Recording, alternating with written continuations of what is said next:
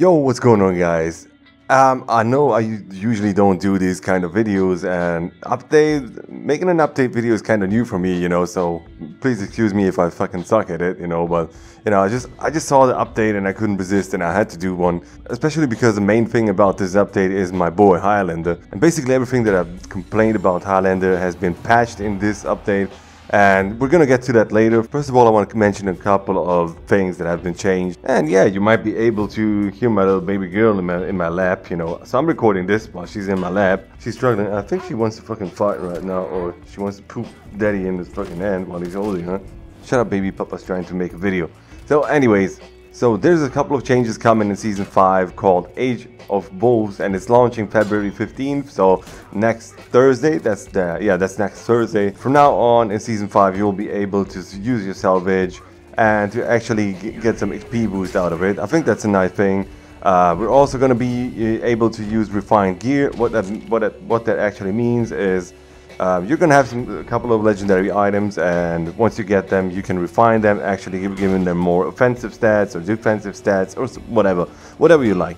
Uh, the next big thing is arena mode is coming at season 5 but it's not coming out at launch which a lot of people said it would you know it's not coming out at, at the launch. It's coming during during the season 5 somewhere somewhere along the way.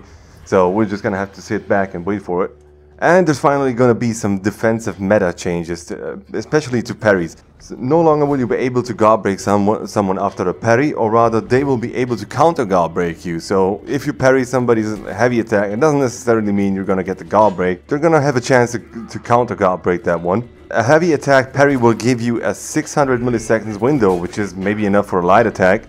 And for a light attack, parry, it will it will stay at 900 milliseconds. Um, I think that was about the same as before. I think this is the right step into into the right direction when it comes to defensive meta, turtle um, meta, whatever you want to call it. Um, people were kind of scared to throw heavies and light attacks and whatever. You know, after after you get guard broken, thrown into a wall by a centurion, and you know get get cutscene to fucking death. You know, you don't want to you don't want to throw you don't want to throw heavies. Um, so yeah, I think that's gonna be gonna be a good change, and I can't wait to play it.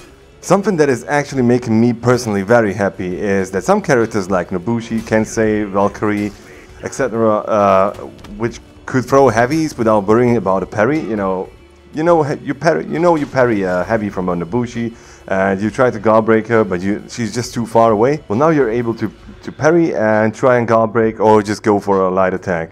I think that's actually pretty good, and that was pretty, that was really fucking frustrating when, when fighting in the Bushi, you know. Yeah, there are also a couple of um, hero updates, like Berserker will not, not get a top heavy, like Berserker will not get a top heavy out of a guard break or a throw. Uh, Orochi's top light attack combo has been reduced from 32 to 22. Thank God, you know.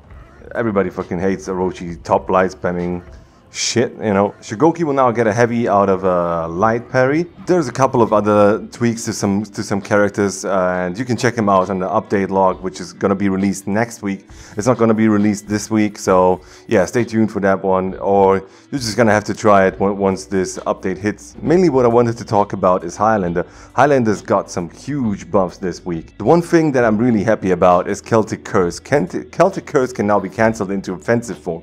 So which means after you've done your first attack with Celtic Curse, you can now cancel it or rather just switch into uh, offensive form and maybe, you know, do do a Balor's Might or just go for a kick or a grab, you know, or caber toss to be exact, you know. And I think it's gonna make Highlander pretty damn fucking um, scary on the battlefield, especially in the 1v1 duel.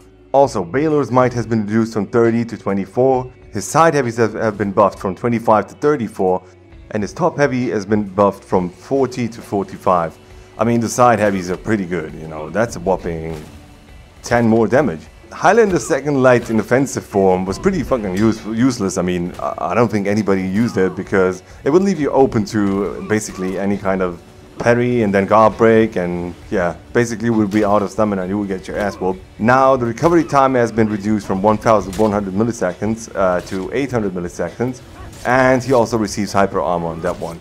I'm still not gonna use that shit on Highlander to be honest. One of the things that made me really happy about the Highlander update is this caber toss update, and it's probably my favorite. How many times did you feint a kick to try and do the caber toss on an Orochi or any other character? Just, you know, just to miss and then get guard broken Kick has also received a buff or a nerf. I don't know what you what, what you want to call it, but it's definitely better.